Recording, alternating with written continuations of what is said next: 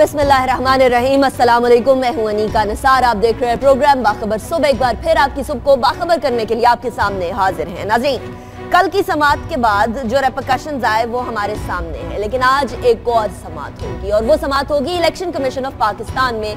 उन रेफरेंसेस के खिलाफ जो रेफरेंसेस स्पीकर कौमी असेंबली की जानब से इलेक्शन कमीशन ऑफ़ पाकिस्तान में भेजे गए। आपको याद होगा, वो रेफरेंसेस जिनके बारे में बहुत शोर भी बचा था कि इमरान खान साहब, जहांगीर खान तरीन साहब के खिलाफ तो रेफरेंसेस भेज दिए, लेकिन नवाज़ शरीफ साहब के बारे में रेफरेंस क्यों नहीं भेजा गया? जिसके बाद अयाज सादिक साहब ने वो रेफरेंस आगे भेजा और ईसीपी में आज उसकी एक बार फिर समात है। दो नवंबर की तारीख रखी गई थी और इस पर बड़े सवाल उठाए जा रहे थे। इलेक्शन कमीशन ऑफ़ पाकिस्तान पे कि आज ही पहले धरने की तारीख दी हुई थी और आज ही के दिन जो है वो समात की तारीख दे दी गई। आज क्या होगा, इसके बारे में तो देखेंगे, लेकिन जिन्होंने रेफरेंस दायर किया, उनके हवाले से भी बात करेंगे कि उन्होंने लास्ट टाइम हमसे बात करते हुए क्या कहा था। इस हवाले से डिस्कशन स्टार्ट करने से पहले मैं अपने पैनल का तारुफ करवाऊँगी। मेरे साथ लाहौर स्टूडियोज में मौजूद हैं ब्रिगेडियर रिटायर्ड सैयद गजनफर अली साहब। गजनफर साहब, शुक्रिया आपने ज्वाइन किया। इस्लामाबाद स्टूडियो से हमें ज्वाइन किया है खावर घुमन साहब ने। खावर साहब, शुक्रिया आपने ज्वाइन किया। Election commission of Pakistan Ghazanfar साहब starting from you last time doctor Yasmeen Rashid साहिबा हमारे शो में कॉल पर थी और उन्होंने कहा कि मरियम नवाज़ साहिबा पहले डिपेंडेंट थी, लेकिन बाद में उनको इंडिपेंडेंट करार दे दिया गया। यानी एक जो बेसिक मसला था, जो नुकता था कि मरियम नवाज़ साहिबा के एसेट्स क्यों नहीं डिक्लेयर करवाए गए, जो पैनमा का मसला, जो तमाम ऑफशोर कंपनियाँ अब अगर वही शिक निकाल दी गई तो फिर किस चीज़ पर डिस्कशन होगी? और इलेक्शन कमीशन पाकिस्तान का रवैया क्या? वन साइडेड या बायस तो नहीं होगा? बिस्मिल्लाहिर्रहमानिर्रहीम शुक्रिया अनीका इस पे जाने से पहले मैं एक छोटी सी बड़ी अच्छी खबर है जो शेयर करना चाहता हूँ आपसे भी, और अपने वाम से भी। वो ये है कि एक पचहत्तर व्हीकल्स का एक ट्रेड कॉन्वाय जो है सी के लिए वो पहली दफ़ा खुंजराब और सुस्त क्रॉस करके पाकिस्तान में दाखिल हो गया है और वो गवादर जा रहा है, जो एक अच्छी इब्तदा है पाकिस्तानियों के लिए। और इसको F W F C N A और स्पेशल प्रोटेक्शन डिवीज़न जो है, वो प्रोटेक्ट कर रहा है। तो ये एक चीज़, एक ट्रेड का जो आगाज़ हुआ है, वो आज की एक बेहतर खबर है।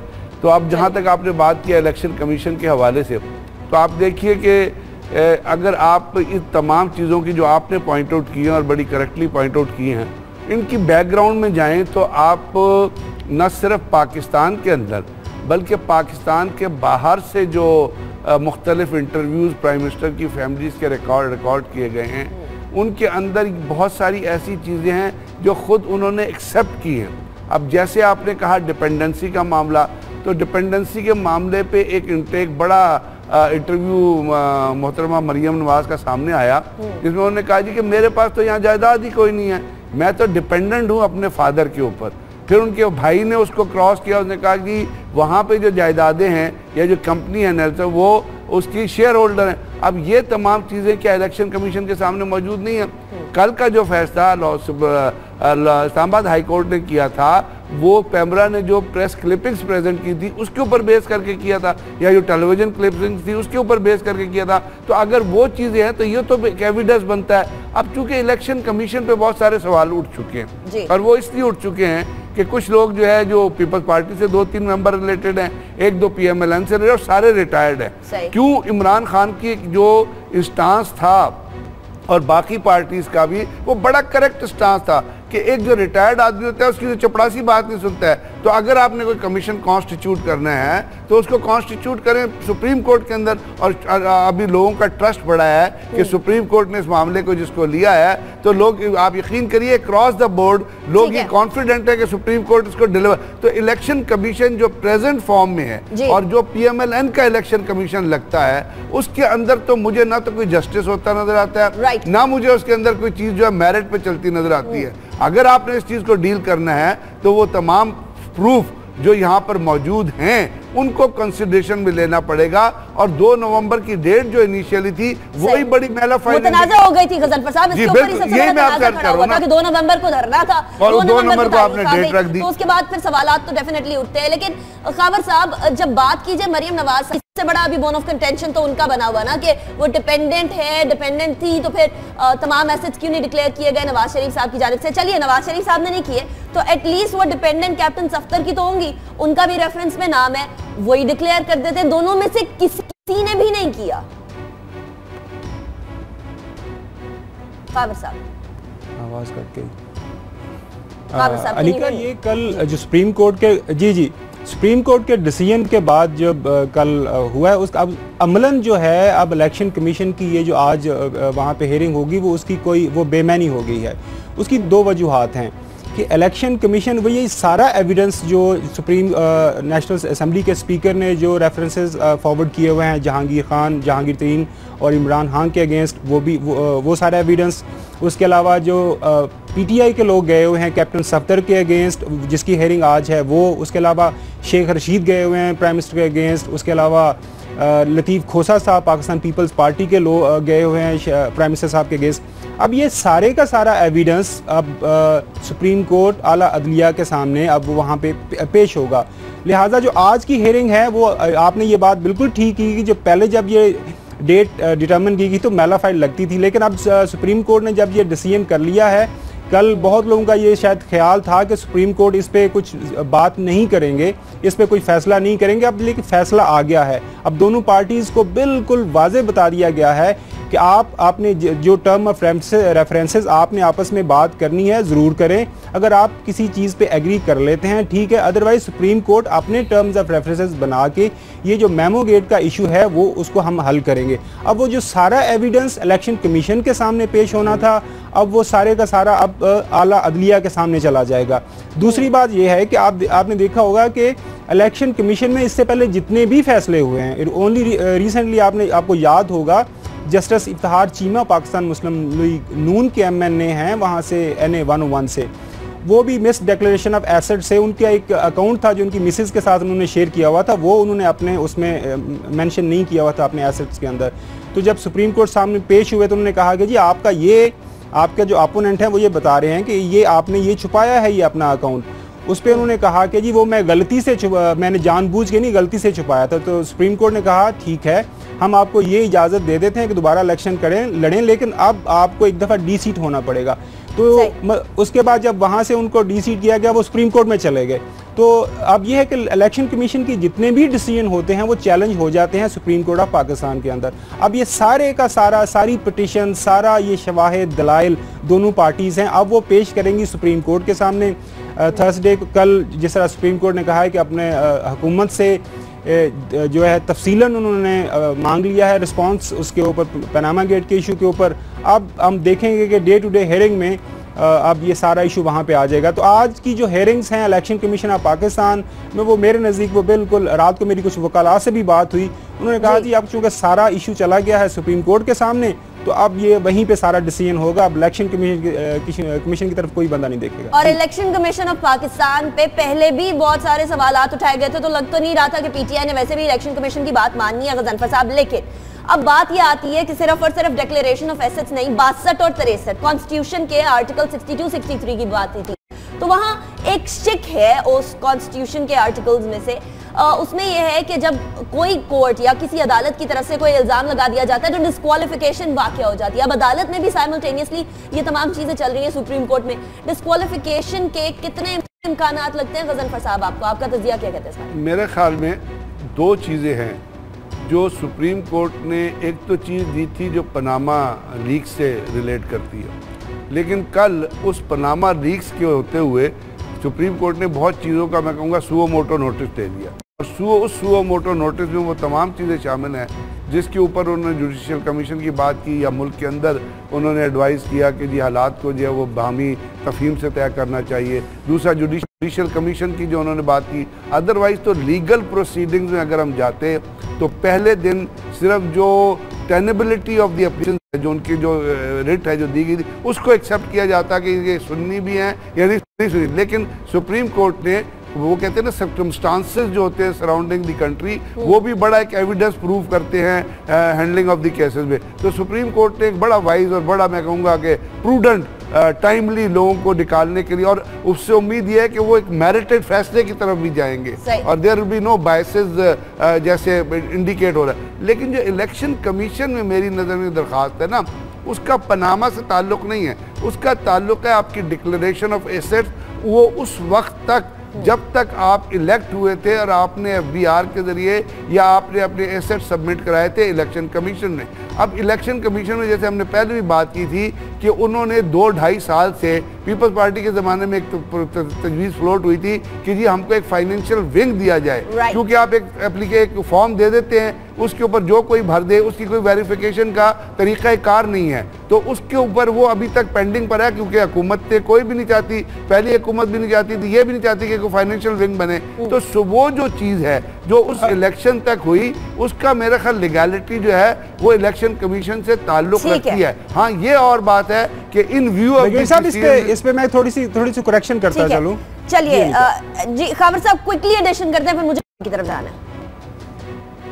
मैं वो जो ब्रिगेड साहब वो जो- आप बात कर रहे हैं ना कि जी वो इसका मेमो गेट के साथ ताल्लुक नहीं है देखें वो जो प्राइम मिनिस्टर के अगेंस्ट जो आप पटिशन हुई हुई है ना इलेक्शन कमीशन के अंदर वो है मरियम नवाज़ शरीफ साहिबा का एज ए डिपेंडेंट जब ये पैनामा में मरियम नवाज़ के नाम पे ऑफशोर कंपनीज़ निकली हैं तो उसके बाद ये ये एविडेंस सामने आया है कि जब आप अब आप आप ये बता रहे हैं कि वो डिपेंडेंट हैं तो उनके नाम तो ये निकल आई हैं तो वो एक एक- एक- के बारे में बात कर लेते हैं खाबर साहब। डॉक्टर यास्मीन राशिद साहब हमारे साथ मौजूद है पीटीआई की लीडर हैं और डेफिनेटली रेफरेंस के हवाले से भी डॉक्टर याशिद साहिबा आगे आगे। डॉक्टर साहिबा सुप्रीम कोर्ट में जो कल हुआ उसके फैसले के बाद फिर कप्तान ने जिस तरह से फैसला लिया वो भी हमारे सामने था और वो फैसले के बाद एक कलबली सी पाई जाए पाई गई पूरे पीटीआई के जितने भी वर्कर्स थे उनमें। आप समझती हैं कि एक तासुर ये भी गया जिस तरह आसिफा भुट्टो जरदारी का ट्वीट भी आया बहुत सारे और रहनुमाओं का ट्वीट कह रहे हैं इमरान खान साहब, आपको यू टर्न खान या इस तरह के नाम दिए जा रहे हैं उनको। आपको लगता है कि इमरान खान साहब का ये डिसीज़न टाइमली था? सुप्रीम कोर्ट के डिसीज़न के बाद या थोड़ा इंतज़ार करना चाहिए था? देखिए, मेरा ख्याल है, सबसे अहम चीज़ है, मकसद के लिए ये सारा तरद्दुत किया गया और हम सारे प्रोटेस्ट कर रहे थे। वो यही मकसद था कि आप किसी तरीके से इन्वेस्टिगेशन शुरू करें। जब सबसे पहले हुकूमत ने उठा के खत लिखा चीफ जस्टिस को तो हमें सबको पता था दोस्त T O Rs were not effective enough और आपके सामने चीफ जस्टिस ने उठा के वापस भिजवा दिया और उनका I am not ready to make a toothless commission if you remember that उसके बाद उन्होंने ये कहा कि आप लोग आपस में मिल के बैठ के आप मेहरबानी करके अपने टी ओ आर बनाइए। अब आपके सामने दस मीटिंग्स हुई, दस मीटिंग के दौरान हमारी हर तरीके से कोशिश हुई कि किसी तरीके से टी बन जाए। वो टी इसलिए बनने को तैयार नहीं था क्योंकि हुकूमत जो थी वो पनामा लीग के जो है उसमें प्राइम मिनिस्टर का नाम लाने को तैयार नहीं थी ना उनकी फैमिली का नाम लाने को तैयार नहीं थी। अब मकसद ये था कि ये इस चीज़ के लिए जब हमने प्रोटेस्ट शुरू की और कल अगर सुप्रीम कोर्ट ने ये रिस्पॉन्सिबिलिटी ली है और उन्होंने ये जिम्मेवारी ले ली है कि देखिए हम ये चाहते हैं कि आप लोग आपस में ये जो तसादों में इसको खत्म करें और हम इस चीज़ की जिम्मेवारी लेते हैं। तो मेरा ख्याल है जब सुप्रीम कोर्ट जिम्मेवारी ले रही है तो उसके सामने हमें मजीद और बताइए इस, इस मसले में कौन पड़ेगा। So I think stepping in of supreme court and taking the decision कि हम आप अपने टी भेजें हम देख के और अपनी मर्ज़ी के मुताबिक टी बना के and we will see that is properly investigated and particularly इस चीज़ पे भी बड़ा इंपॉर्टेंट है कि उन्होंने ये कहा you know what they said to अपना ये क्या कहते हैं नैप के उन्होंने कितना कहा कि भी आप नैप क्या करता रहा है every question which was asked showed that the Supreme Court is now serious to see that proper investigations are done on Panama Leaks.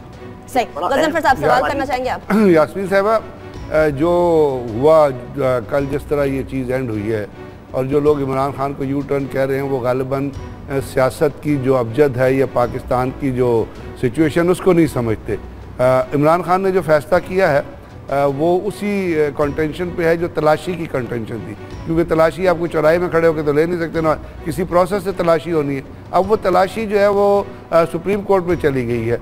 लेकिन बहुत बड़ा जो चीज़ टी ओ के बारे में है, जो पहले बन चुके हैं। अब टी ओ जब बने थे तो उसमें पीपल्स पार्टी भी एक आपके साथ शामिल थी। अब वो टी ओ जो पीपल्स पार्टी के साथ मिलकर आपने बनाए थे, क्या वो मनोअन पेश किए जाएँगे? और क्या वो चीज़ें जो हैं दोबारा डिस्कशन में आएँगी या उसके अंदर क्योंकि पीपल्स पार्टी के साथ, आपके साथ मूवमेंट नहीं थी, क्या आप एक्सपेक्ट करती हैं कि उसके अंदर पीपल्स पार्टी की तरफ़ से कोई रखना या कोई ऐसी चीज़ पड़ेगी या वो आपके साथ जाएँगे सुप्रीम कोर्ट के अंदर? देखिए जी, अभी तक तो पीपल्स पार्टी ने बिल्कुल इस बात का ज़िक्र नहीं किया, बल्कि उन्होंने हुकूमत को ये कहा कि आप जो हमने बिल का कहा था, वही बात करें। देखिए, दोनों चीज़ें, जब हमने बिल की बात, हम, हमने इनके साथ खड़े रहे बिल के अंदर ये जो मुश्तरका इन्होंने बिल बनाया, जो क्यू थे, उसी की बेसिस पे वो बिल बना था। We were supporting them in everything लेकिन आपके सामने इस चीज़ को सात महीने हो गए थे, हर तरीके से कोशिश कर ली। आज भी मैं आज इलेक्शन कमीशन के अंदर जा रही हूँ, आज मेरी वहाँ तारीख है एट नाइन थर्टी हम इसीलिए जा रहे हैं कि मैंने जो केस किया था जो रेफरेंस दायर किया था इस क्वालिफिकेशन के लिए, उसमें यही बात थी कि भाई आपके जो असाफे हैं they have not been declare properly because you have आपने मरियम नवाज़ को अपना डिपेंडेंट डिक्लेयर किया हुआ है। बेस्ड ऑन दैट हम भी गए। वैसे कोई आप देखिए ना कौन सा दरवाज़ा था जो हमने नहीं खटखटा है। अब अब तक यानी आज से आज भी हम उसकी जो रिस्ट्रिक्शन को पहले सबसे पहले जो है वो कंटेस्ट इस बात को करनी है कि क्या इलेक्शन कमीशन की जो रिस्ट्रिक्शन है या नहीं। मतलब हुकूमत ने हर तरीके से कोशिश की कि हर चीज़ को डिले कर करके किसी तरीके से कोई इन्वेस्टिगेशन ना हो। अव्वल तो असूलन the prime minister was under moral obligation being the executive of this country कि वो आके अपनी एक्सप्लेनेशन खुद ही दे देते।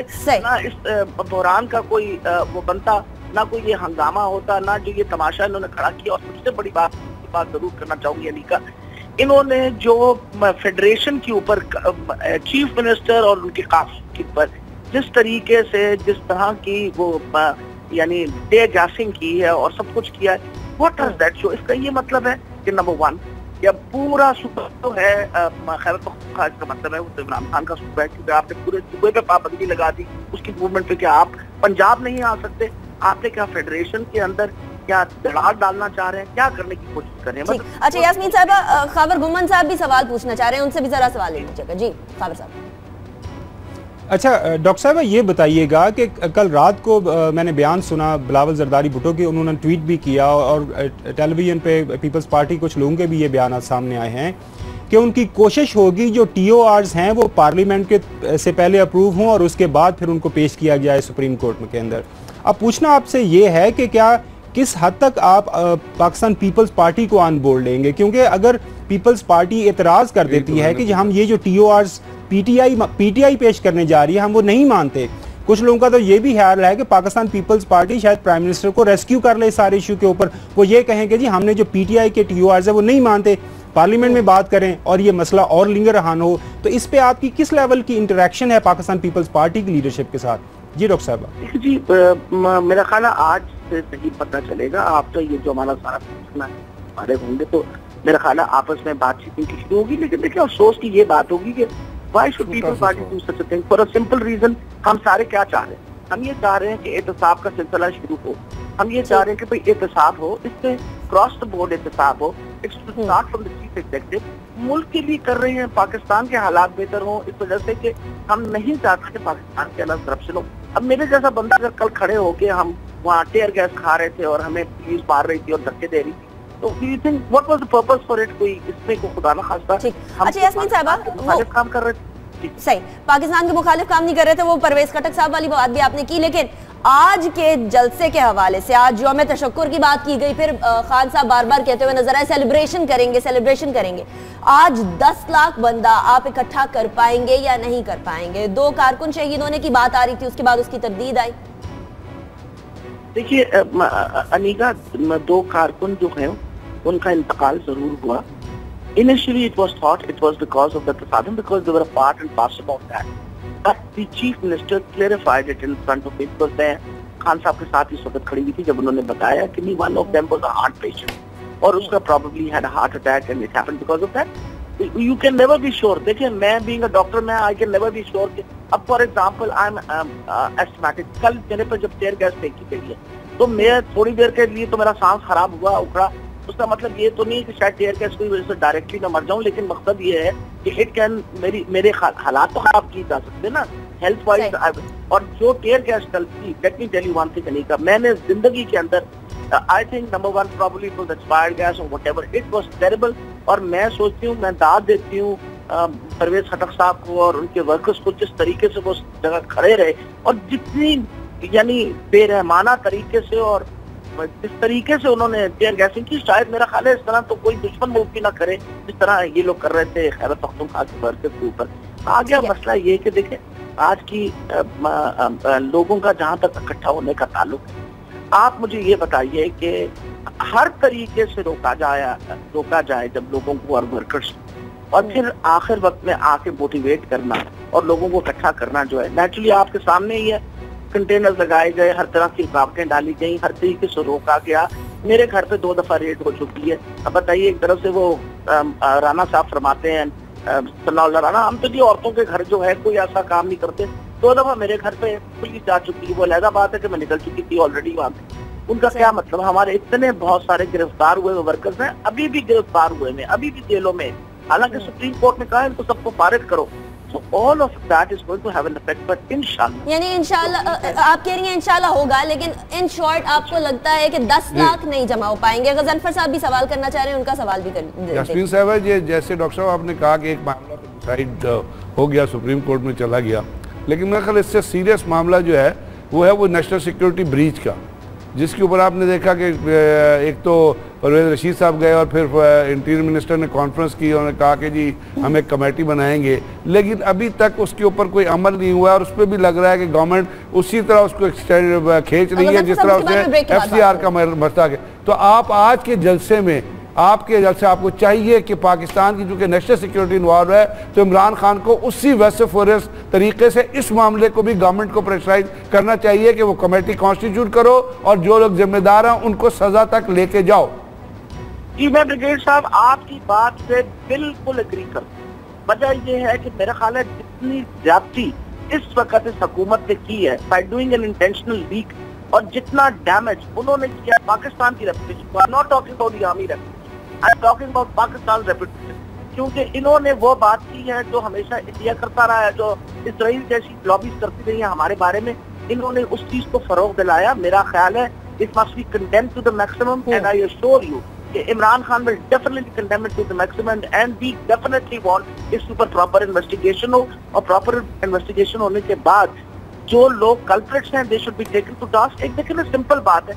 आपकी फौज आपकी सर पे अजब कर रही है। आपकी फ्रंट लाइन आपकी फौज है। हर चीज़ के लिए तो आपको फौज की ज़रूरत पड़ती है। आप नहीं कर सकते कि फौज नहीं है। और जब बात करनी हो तो आप फौज से मुखालिफ बात करना शुरू कर दें। असल में नवाज़ शरीफ साहब को बादशाह की आदत है। वो चाहते हैं कि वो बादशाह बन जाए और हर किस्म की जो ऑर्गेनाइजेशन और इंस्टीट्यूशन उनके हाथ में और उनके के अंदर हो और वो जिसको हुक्म दे वो उस तरह करे। अब क्योंकि फौज is a very strong organization and work according to the betterment of Pakistan उनको इस बात की बड़ी तकलीफ़ है और इस तरह की हरकतें इसी वजह से आज के जलसे में आज के जलसे में इसको उठाइए लोगों के सामने और इसको भी स्टैंड के तौर पर आपका पैगाम पहुँच गया गजनफर साहब डॉक्टर यासमीन राशिद साहब बहुत शुक्रिया आपने हमें ज्वाइन किया हमारे शो में। साहब क्विक क्वेश्चन आज जो चीज़ होने वाली है वो हमारे सामने है। लेकिन एक सवाल जनरली पूछा जा रहा था कि मशीनरी गवर्नमेंट मशीनरी दूसरी तरफ़ से भी इस्तेमाल हुई। लेकिन अभी हमें जाना ब्रेक की तरफ़। ब्रेक के बाद शो को कंटिन्यू करेंगे और नाजरीन एक ऐसी खबर जिसने हलचल मचाई जिसकी बात भी अभी हम कर रहे थे उस हवाले से बात करेंगे एक ब्रेक के बाद।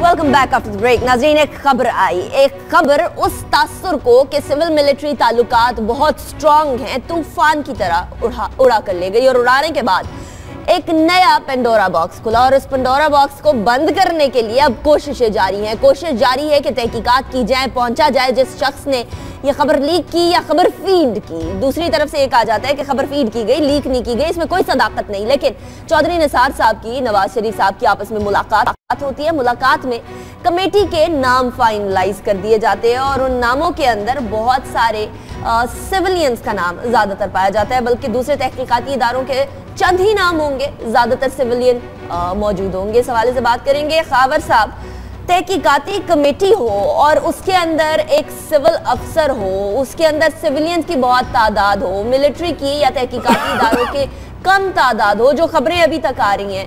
तो फिर इस कमेटी के ऊपर ट्रस्ट जो सिविल मिलिट्री ताल्लुका के हवाले से कहा जाता है, कितना रह पाएगा? अनिका, मैं तो आप अपने शो में एक खबर ये आपको देना चाह रहा हूँ कि हो हो ये रहा है कि गवर्नमेंट काफ़ी लोगों से बात कर रही है इस कमेटी को हेड करने के लिए, कोई तैयार नहीं हो रहा। उसकी एक सिंपल सी वजह यह है कि शुरू की जो तहकीकात हो चुकी हैं, उसमें बहुत ज़्यादा एविडेंस सामने आ चुका है और हमारी खबर के मुताबिक मिलिट्री इस्टेब्लिशमेंट ने वो सारे जो एविडेंस है, वो सारे शवाहद सिविलियन लीडरशिप के सामने पेश कर दिए हैं कि ये इस तरह ये खबर का, को कंसीव किया गया, इस तरह इसकी प्लॉटिंग हुई और इस तरह इस तरह इसको फ़ीड किया गया।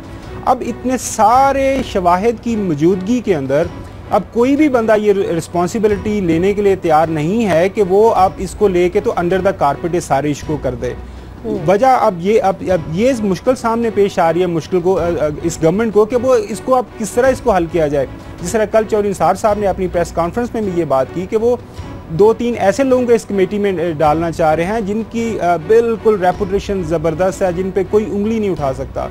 अब बदकिस्मती की बात यह है कि तीन हफ़्ते से ज़्यादा हो गया है और इस पर सबने माना कि कौमी सलामती के मसाइल हैं और अभी तक कमेटी नहीं बन रही।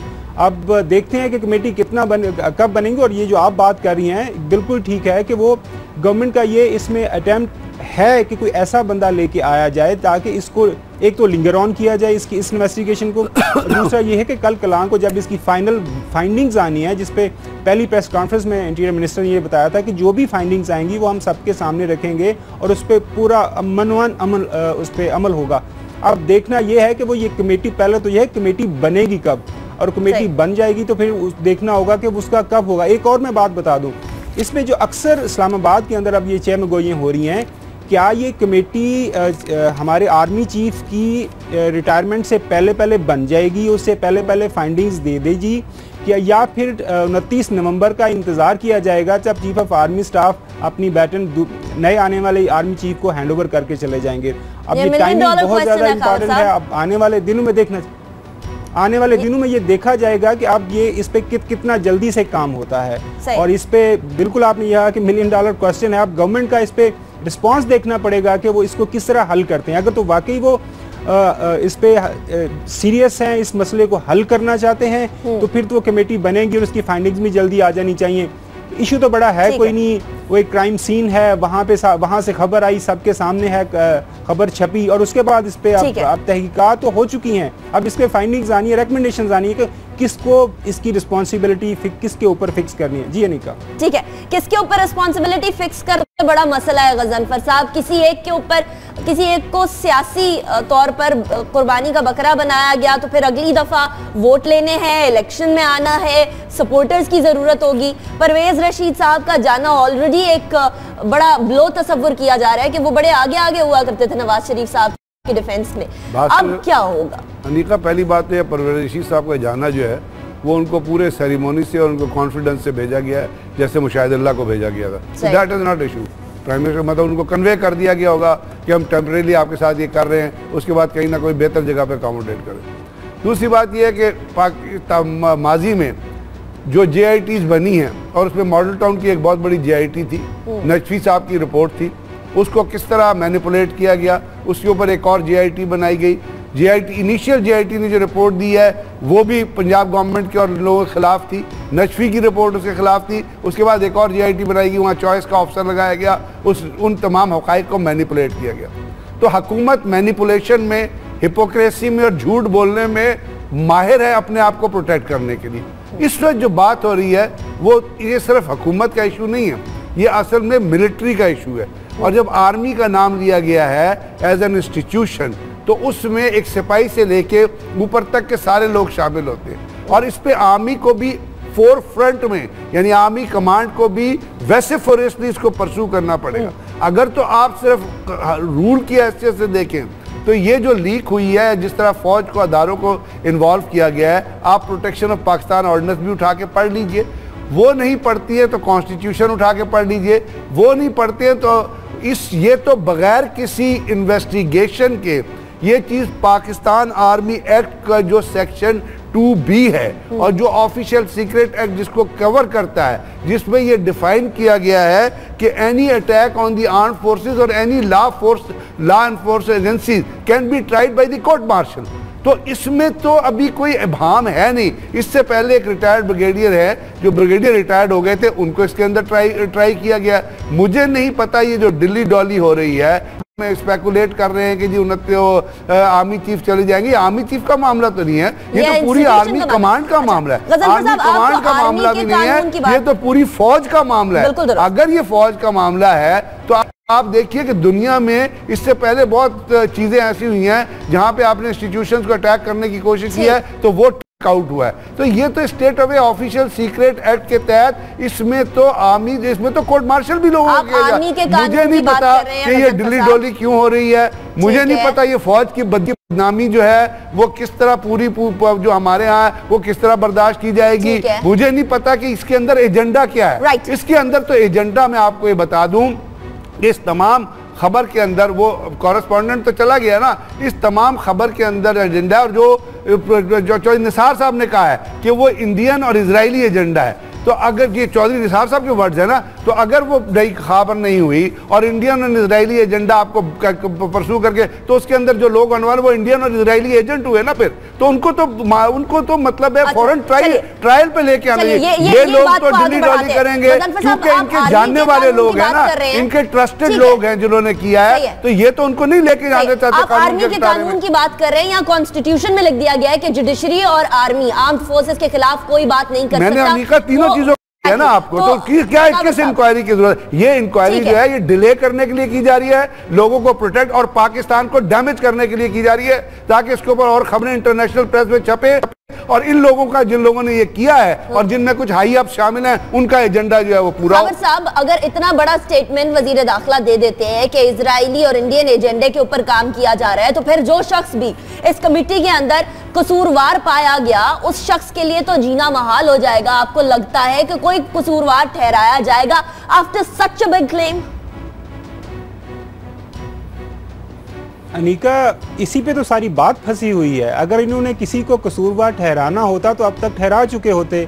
ये इतना बड़ा इशू तो है को नहीं है। तहकीकात के हवाले से मैं बात कर रहा हूँ। एक बंद कमरे में मुलाकात हुई, मीटिंग हुई। अगर हुई, मैं ये मतलब अज्यूम कर ले कि मुलाकात हुई। उस दिन national account, national action plan पे उस पर मीटिंग हुई थी। नेशनल सिक्योरिटी काउंसिल की मीटिंग हुई थी। अगर किसी मान लें कि किसी जगह पर ये इस तरह की मीटिंग हुई है और ख़बर निकली है तो ख़बर कहाँ से निकली है? पूरी दुनिया के अंदर जो है एविडेंस स्टार्ट होता है प्रोसिक्यूशन स्टार्ट होती है क्राइम सीन से कि ये कहाँ पे ये सारा हुआ? अब दोनों अदारे सिविल भी ये कह रहे हैं कि ये इससे कौमी सलामती के मिसाइल पैदा हुए, आर्मी भी कह रही है कि कौमी कौमी सलामती के मिसाइल पैदा हुए। तो ये मुल्क है, एक बनाना रिपब्लिक नहीं है 200 मिलियन लोगों का मुल्क है, उसकी नेशनल सिक्योरिटी के बड़े सीरियस इश्यूज़ हैं। पूरी दुनिया ने इस खबर को डिंडोरा पीटा पीटा पूरी दुनिया के टॉप मीडिया आउटलेट्स ने इसको अपनी मेन हेडलाइन बना, बना के आपको चलाया गया। उसके बाद हम हाथ पे हाथ धर के बैठे हुए हैं और अब कमेटी नहीं बन, बनने जा रही। इस इससे बड़ी ज़्यादा इस मुल्क के साथ क्या हो सकती है कि आपको अभी वो लोग नहीं मिल रहे जो इसको इसको इन्वेस्टिगेट कर सकें। और क्या हमारे मुल्क में ऐसे लोगों की कमी है? बहुत खबर खबर खबर एक चीज़ खबर खबर में एक चीज़ कहना चाहूँगा कि क्या हमें इस इन्वेस्टिगेशन की अभी ज़रूरत है? देर आर प्रूफ अवेलेबल अगर तो सिंसियरिटी ऑफ़ पर्पज है।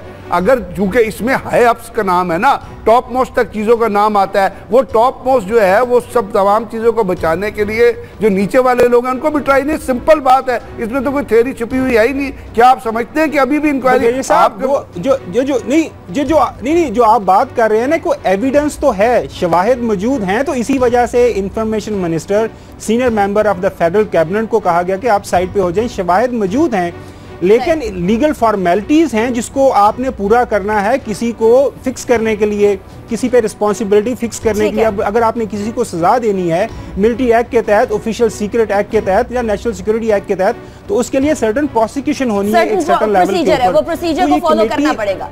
ठीक है वो प्रोसीजर फॉलो करने के तो लिए कमेटी बनाई जा रही है और कमेटी पता नहीं कितना टाइम हम चाह रहे हैं कि किसी भी तरीके से पता चले एक बंद कमरे में कितने अफराद होंगे कितने लोगों को ट्राई करना होगा कितनी इन्वेस्टिगेशन की ज़रूरत है कि कमेटी बनेगी फिर कमेटी फाइंडिंग्स देगी फाइंडिंग्स पता नहीं आवाम के सामने आएगी या नहीं आएगी। ये तमाम चीज़ें हमारे सामने है लेकिन नाजरीन एक अहम मुलाकात आज होगी। कैबिनेट मीटिंग होगी और इस कैबिनेट मीटिंग के बहुत सारे एजेंडाज हो सकते हैं चाहे वो दो नवंबर के आज के जलसे की बात सुप्रीम कोर्ट के फैसले की बात हो मुतनाज़ खबर हो इन तमाम चीज़ों के बारे में जानेंगे। अनवर रजा हमारे साथ मौजूद हैं। 92 न्यूज़ के नुमाइंदे हैं इस्लामाबाद से।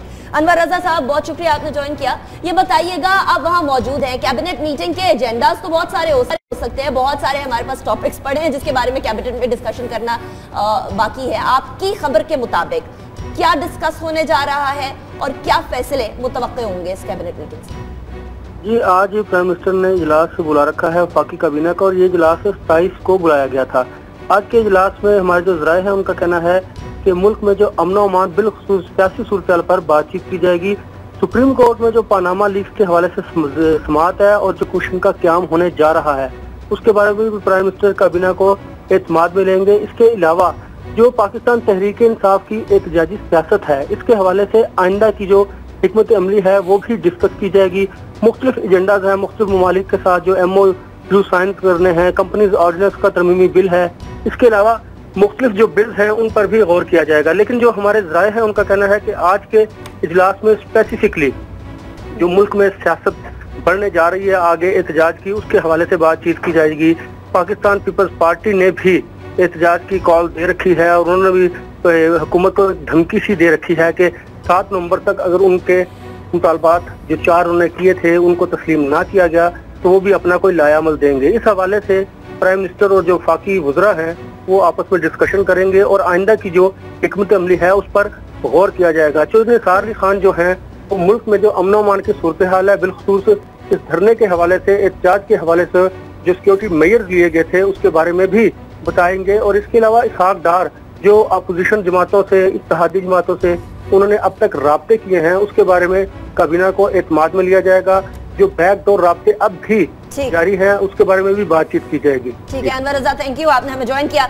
ऐसा तो लगता है कि एक तरफ़ पीटीआई जश्न मना रही होगी पीपल पीपल्स पार्टी की एक थ्रेट मौजूद है तो एक तरफ़ काबीना में ये कैबिनेट मीटिंग में यहाँ भी जश्न मनाया जा रहा होगा कि देखिए हम लोगों ने धरने को कैंसिल करके जलसे तक ले आए हैं अनिका जो मेरी इतला है उसके मुताबिक जी जी जो मेरी इतलात हैं उसके मुताबिक गवर्नमेंट शुरू दिन से इस जो पैनामा गेट का इशू है इसको सुप्रीम कोर्ट पे जाने की के, के, के हक में नहीं है नहीं थी। आ गया है पीटीआई ने प्रेशर डाला उसकी दो वजूहत हैं। एक तो ये है कि आपको याद होगा जब पहली दफ़ा जब पीटीआई और दूसरी पिटिशन हुई थी सुप्रीम कोर्ट के अंदर तो वहाँ पे एक डीएमजी ऑफिसर जो रजिस्ट्रार एक्ट करते हैं वहाँ सुप्रीम कोर्ट के, उन्होंने इनको फ्रिवलस कह के कहा था कि जी इसको साइडलाइन कर दिया, फेंक दिया था। बाद में दोबारा फिर हेयरिंग हुई चीफ जस्टिस पाकिस्तान ने उनको एक्सेप्ट किया। उसकी वजह यह है कि एविडेंस इतना ज़्यादा वाज शक्ल में मौजूद है पनामा गेट की शक्ल में। प्राइम मिनिस्टर साहब ने स्पीच की है नेशनल असम्बली के फ्लोर पे, उसके अलावा दर्जनों इंटरव्यूज़ आपने देखा होगा, उसमें हसन, हुसैन, मरियम नवाज़ शरीफ साहबा ने मुख्तलिफ़ अवकात में ये सारी दी। उसमें चौधरी सार साहब की स्टेटमेंट्स हैं, उसमें और रूलिंग फैमिली के लोगों के इंटरव्यूज़ हैं, जिसके मुताबिक वो जो उनकी प्रॉपर्टीज़ हैं लंदन में, उनका बिल्कुल नाइन्टीज़ से उसको रिलेट किया जा सकता है, उनके पास हैं। तो एविडेंस बहुत ज़्यादा है। अब एक अब सुप्रीम कोर्ट के सामने ये जब सारा एविडेंस जाएगा तो देखें पूरी दुनिया के अंदर जो कानून है जो इंसाफ के अदारे हैं उन्होंने जो शवाहद उनके सामने रखे जाएँगे उनको बेस बना के उन्होंने उस पर फैसला देना है। आपको याद होगा जब रिगिंग का इशू इलेक्शन कमीशन के सॉरी सुप्रीम कोर्ट के सामने गया था तो पीटीआई वो एविडेंस नहीं पेश कर सकी थी जिसको जिसको बेस बना के सुप्रीम कोर्ट इलेक्शन को नल एंड वॉइड करार दे दी। अब देखना यह है कि ये जो सारा एविडेंस मौजूद है इसको गवर्नमेंट। डिफेंड किस तरह करती है कि वाकई वो जो हमने हमारी प्रॉपर्टीज़ ऑफशोर कंपनीज़ हैं वो हमने जायज़ तरीके से हलाल तरीके से कमाई हुई दौलत से बनाई है या फिर मनी लॉन्ड्रिंग इस मीटिंग में। और वो डिस्कस होगी तभी तमाम चीज़ें आएँगी लेकिन गजनफर साहब इससे आवाम को एक फ़ायदा ज़रूर होता है। जहाँ प्रेशर बनता है सियासी प्रेशर बनता है हुकूमत पर वहाँ आवाम के लिए रिलीफ आ जाता है। अभी देखें इस महीने पेट्रोलियम मसनूआत की भी कीमतें नहीं बढ़ी तो इससे आवाम को क्या फ़ायदा होगा आज की कैबिनेट मीटिंग ये पेट्रोलियम मसनूआत की कीमतें नहीं मेरी बढ़ी लेकिन कल एफ़ बी आर की एक रिपोर्ट आ गई है हम्म। और उन्होंने कहा कि जो बजट में डेफिसिट बुनियादी तौर पर हो रहा है पिछले पूरे साल से वो इसलिए हो रहा है कि पेट्रोलियम की कीमतें नहीं बढ़ाई गई ये जानते हुए कि पेट्रोलियम की कीमतें अभी आप अखबार पढ़े कि अक्टूबर में फिर पेट्रोलियम की कीमतें जो है वो लोएस्ट स्टेप पर आ गई हैं हम्म। तो आप अपना टैक्स जमा नहीं करते हैं, आपके जो मैयर्स हैं, वो इतने अनरियलिस्टिक हैं कि लोगों को आप प्रेशराइज करते हैं। जो जैसे मैंने आपसे पहले अर्ज़ किया कि जो आपका रियल इस्टेट में जो टैक्स आता था, उसको आपने तबाह बर्बाद कर दिया, एक गैर ज़रूरी पॉलिसी से गैर इमेजिनेबल तो आपकी चीज़ें किस तरह चलेगी? अब जहाँ तक आपने बात की कैबिनेट मीटिंग की, उसमें मैं ये कहना चाहूँगा कि जहाँ तक तो पोलिटिकल इशूज़ बिल्स इनका ताल्लुक है, ये तो कैबिनेट से रिलेट करते हैं। लेकिन जहाँ तक पानामा पानामा के इशू का ताल्लुक है it doesn't relate with the cabinet ये तो एक इंडिविजुअल का मसला है। ये तो प्राइम मिनिस्टर का अगर नहीं तो प्राइम मिनिस्टर की फैमिली का मसला है। इसके अंदर इसी इंडिविजुअल मैं आपसे कैबिनेट डिफेंड करने मैं यही तो अर्ज़ कर रहा हूँ कि इसके अंदर जो स्टेट रिसोर्सेज इस्तेमाल किए जा रहे हैं अभी आपके देखिए कि इन पिछले दिनों में 800 मिलियन रुपीस इस्तेमाल हुए हैं सिर्फ़ इश्तहार चलाने के लिए। वो आपके और मेरे टैक्स का पैसा है। तो जब एफ़ आके ये कह देता है कि जो पेट्रोलियम की कीमतें चूँकि नीचे आई तो हम टैक्स डेफिसिट पूरा नहीं कर सके। असल में ये बात नहीं है। असल में ये मैनिपुलेशन मिस यूज़ ऑफ़ जो रिसोर्सेज है आपके गवर्नमेंट मनी का जो गवर्नमेंट ने अभी किया है 800 मिलियन का आप उठा के देख लीजिए इश्तहारों के देख लीजिए कितने पैसे गए हैं अपनी ज़ात को प्रोजेक्ट किया हमने ये तीर चला दिया हमने फलाना तीर चला दिया तो ये जो चीज़ें हैं कैबिनेट के अंदर इसको डिस्कस नहीं होना चाहिए। ये इंडिविजुअल का मामला है। इसमें स्टेट मशीनरी को इस्तेमाल नहीं होना चाहिए लेकिन जो कि खुशामदियों की एक बहुत बड़ी तादाद यहाँ पे मौजूद है। तो ये बात यह है कि जब खुशामदियों की ये तादाद यहाँ पे मौजूद होगी तो वो स्टेट के रिसोर्स को मिसयूज करेंगे